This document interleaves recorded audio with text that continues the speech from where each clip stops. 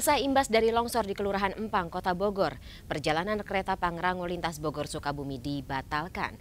Hal ini dikarenakan jalur rel di lintasan tersebut terdampak longsor. Akibat longsor, rel menggantung kereta api yang berada tepat di atas tebing menggantung mencapai sekitar 20 meter. Titik rel yang menggantung imbas longsor ini berada di KM 26 plus antara stasiun Paledang dan stasiun Batu Tulis. Dampak dari rel kereta api yang menggantung, segala aktivitas kereta yang melintas di jalur Bogor dihentikan sementara mulai hari ini.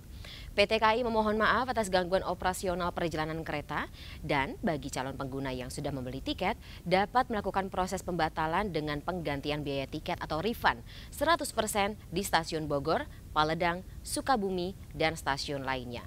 Proses pembatalan dapat dilakukan hingga tujuh hari ke depan. Calon pengguna yang terdampak pembatalan perjalanan kereta api Pangrango disarankan untuk sementara waktu dapat beralih ke moda transportasi lain. Pihak PT KAI kini terus mengupayakan perbaikan jalur rel yang terdampak longsor. Sementara itu terkait pembatalan perjalanan kereta Pangrango lintas Bogor Sukabumi akibat longsor yang terjadi di Kelurahan Empang, PT KAI memberikan waktu tujuh hari ke depan untuk proses pengembalian tiket. Nantinya para calon penumpang akan mendapat pengembalian dana 100 persen. Ya, jadi peristiwa longsoran awalnya terjadi di bantaran sungai Kampung Sinarsari, Bogor Selatan pada kemarin malam. Kemudian selanjutnya longsoran tersebut juga berdampak dan berlanjut ke area jalur rel di antara uh, stasiun Paledang dan juga stasiun Batu Tulis pada dini hari pagi tadi. Di atas kondisi tersebut, maka seluruh perjalanan KA Pangrango lintas Sukabumi Bogor dan sebaliknya dibatalkan untuk seluruh perjalanan pada Rabu 15 Maret 2023. Dan seluruh pengguna jasa yang sudah melakukan pembelian tiket ini dapat melakukan proses pembatalan baik itu di stasiun Paledang Bogor ataupun di stasiun Sukabumi dan pembatalan tidak harus dilakukan hari ini karena diberikan waktu sampai dengan tujuh hari ke depan. Dan proses pembatalan tiket itu juga akan diberikan biaya penggantian 100% kembali. Dan kita akan terus uh, melakukan update informasi mengenai perjalanan uh, eh, KA Pangrango lintas Bogor Sukabumi dan sebaliknya melalui seluruh media sosial resmi PT KAI KAI 121 dan seluruh kontak center milik PT KAI KAI 121. Masyarakat juga bisa melakukan uh, telepon ataupun menghubungi langsung KAI 121 untuk menanyakan uh, perjalanan KA Pangrango dan juga proses pengembalian tiket.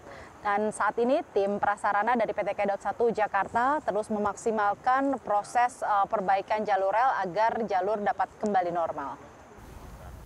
Pemirsa kita akan menuju ke Kampung Sirna untuk melihat bagaimana kondisi terkini pasca longsor di Bogor Selatan bersama rekan Giselia Nurrahma. Selamat sore Giselia, bagaimana dari pantauan Anda kondisi di TKP saat ini? Ya, selamat sore Fani dan juga pemirsa. Saat ini proses evakuasi atau pencarian dari keempat korban tertimbun longsor uh, masih terus dilakukan oleh petugas gabungan yang terdiri dari BPBD Kota Bogor, TNI, Polri, uh, Damkar Kota Bogor, SAR gabungan dan juga relawan kemanusiaan. Adapun korban yang masih dalam proses evakuasi atau pencarian saat ini terdapat empat orang, yakni dua orang dewasa berusia 60 tahun dan dua anak laki-laki berusia 5 tahun dan 8 bulan.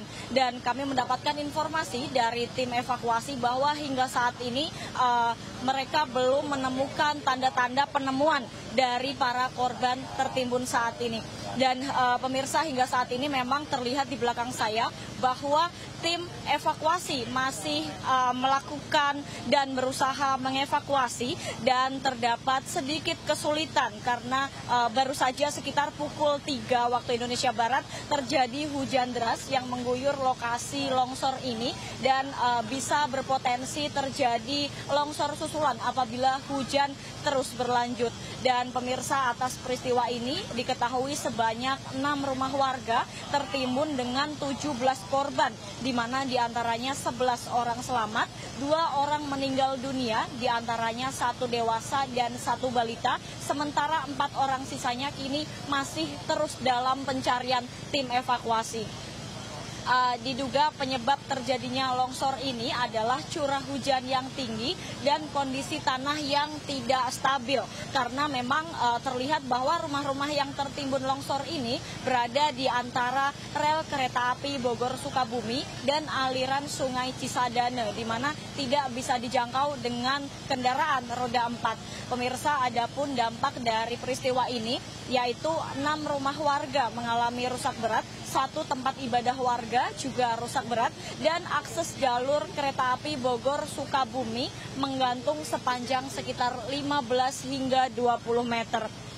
Uh, dan pemirsa terlihat di layar kaca saat uh, saat ini bahwa proses evakuasi dilakukan secara manual dikarenakan memang kondisi jalan dari jalan utama uh, untuk menuju titik longsor ini tidak memungkinkan tidak memungkinkan petugas untuk menggunakan alat berat.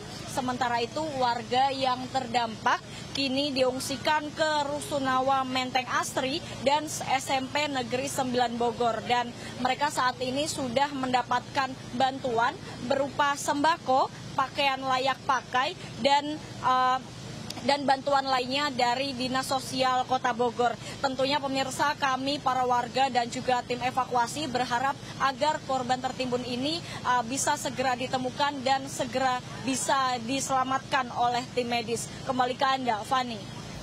Baik, terima kasih Gisela atas uh, informasinya. Selamat kembali bertugas, jaga keamanan Anda dan juga tim di sana ya.